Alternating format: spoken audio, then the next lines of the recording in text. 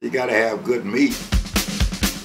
I'm a very big fan of hamburger. Hands down, my, pork is my favorite meat. There's nothing any better than a good tender chicken. I don't think about where the chicken came from. I usually just look at price.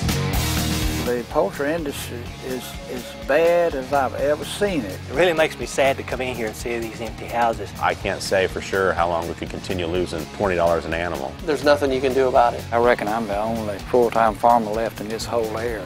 Mass-produced meat, it's showing itself. It's time for thinking people to, to return to their roots.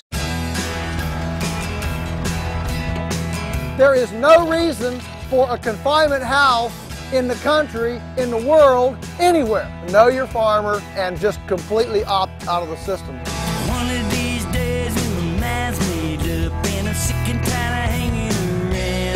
Eggmobile follows the cows. When the cows graze, the chickens come in a couple days behind them and eat the grasshoppers and crickets. I had bought a chicken, I had fixed it, I had tasted exactly what everyone talks about. It did taste different. It's a no-brainer. It just makes sense. We can feed the world the way we currently eat. I will tell you this, that if everybody did this, it would require a lot more people on farm. I've been a uh, computer dealer for 28 years and I've been in technology for 50 years and we're trying to do a little bit of what he's doing here. I walked away from a, a six-figure job. It's a little over $100,000 I was making. But I had reached a point where it, it, was no longer about money. It was about experience, about the quality of my life. You see that he's doing it and you can find that there are tons of other people doing it. So you think then I can do something like this too. We get deliveries of raw meat from Joel Salatin and, and prepare it at that Chipotle.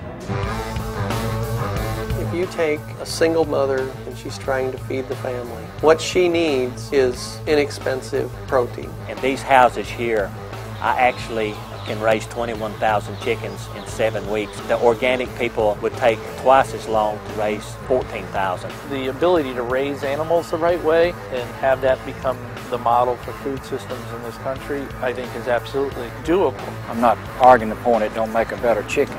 I just wonder if they can really produce enough meat to have an income enough to live off of. Next year, we're going to hit a million dollars in sales. Wow. This little farm. If you could get paid a nice wage for working with your hands, something that was healing, would you give up your globalist agenda Dilbert cubicle job? A lot of people would.